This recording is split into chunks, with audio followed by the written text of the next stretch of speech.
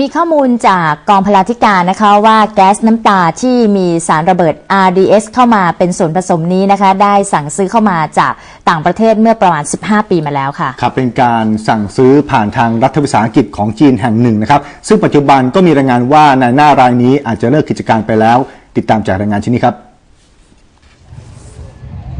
ผู้อำนวยการสถาบันนิติวิทยาศาสตร์กระทรวงยุติธรรม เปิดเผยผลการตรวจสอบและสาธิตการยิงแก๊สน้ำตา เพื่อหาความจริง อนุภาพของแก๊สน้ำตาที่ใช้ในการสลายฝูงชนเมื่อสัปดาห์ที่ผ่านมา และทำให้มีผู้เสียชีวิตระบาดเจ็บรุนแรงถึงขั้นแขนขาขาดว่า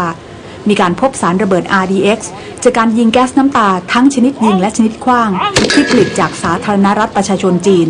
และลักษณะบาดแผลของผู้เสียชีวิต ยังพบรอยกระแทกเท่าแก๊สน้ำตาทรงกระบอกจากจีนที่เจ้าหน้าที่รัฐใช้อยู่ด้วย และที่ใช้ในเหตุการณ์ครั้งนี้เนี่ยของจีนเยอะค่ะ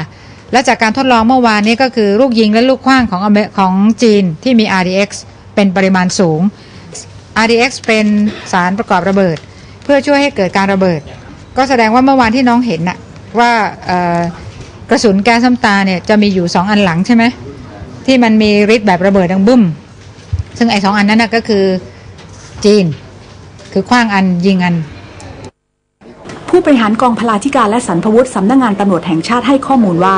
แก๊สน้ำตาล็อตที่มีปัญหานี้ สั่งซื้อเข้ามาตั้งแต่ปี 36 โดยทางการไทยซื้อตรงกับรัฐวิสาหกิจจีนรายหนึ่ง ซึ่งทำหน้าที่เป็นตัวกลางในหน้าด้านการตลาด ปัจจุบันรัฐวิสาหกิจจีนแห่งนี้อาจเลิกกิจการไปแล้ว เพราะเจ้าหน้าที่พยายามตรวจสอบในอินเทอร์เน็ต แต่ไม่พบข้อมูล ซึ่งอาจนำไปสู่การถามหาความรับผิดชอบได้ โดยผู้บริหารของกองพลาธิการระบุด้วยว่า เมื่อมีคำถามเรื่องคุณภาพสินค้าช่วงนั้น จึงมีการสั่งซื้อผ่านในหน้ารายนี้เพียงล็อตเจ้าปัญหาล็อตนั้นล็อตเดียว แต่ยังไม่ได้เคยถูกนำออกมาจากคลังของแต่ละหน่วย เพื่อใช้งานจริง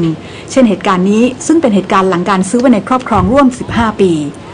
ทางด้านเจ้าหน้าที่กลุ่มงานเก็บกู้และตรวจพิสูจน์วัตถุระเบิด อธิบาย RDX หรือสารระเบิด ที่มีรายงานการพบระหว่างการยิงแก๊สน้ำตาของเจ้าหน้าที่ว่า RDX เป็นสารประกอบหลักของเดินระเบิด C4 ทั่วไป เป็นสารที่ใช้เป็นตัวนำการระเบิด กระตุ้นการระเบิดแรงสูง หรือเพิ่มความเร็วในการระเบิด จุดประสงค์ที่ผู้ผลิตจากต่างประเทศนำสารระเบิดเข้าไปเป็นส่วนผสมของแก๊สน้ำตาด้วย อาจเพื่อหวังผลให้มีการกระจายควันแก๊สไปทุกทิศทุกทาง หรือเพื่อวัตถุประสงค์ ด้านต้องการความรุนแรงอื่นใด ทั้งที่จริง ๆ แล้ว อุปกรณ์สลายฝูงชนอย่างแก๊สน้ำตา ต้องการใช้เพื่อให้ผู้ชุมนุมออกไปจากพื้นที่ไม่ให้เกิดอันตรายต่อผู้ชุมนุม และยังไม่เคยมีรายงานใด ๆ ในโลกว่า ผลการใช้แล้วทำให้แขนขาขาดหรือบาดเจ็บล้มตาย ข้อมูลที่ค่อย ๆ ปรากฏออกมา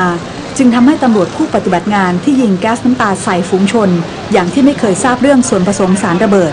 กลายเป็นจำเลยของสังคมในวันนี้ ทีมข่าวสำนักข่าวไทยรายงาน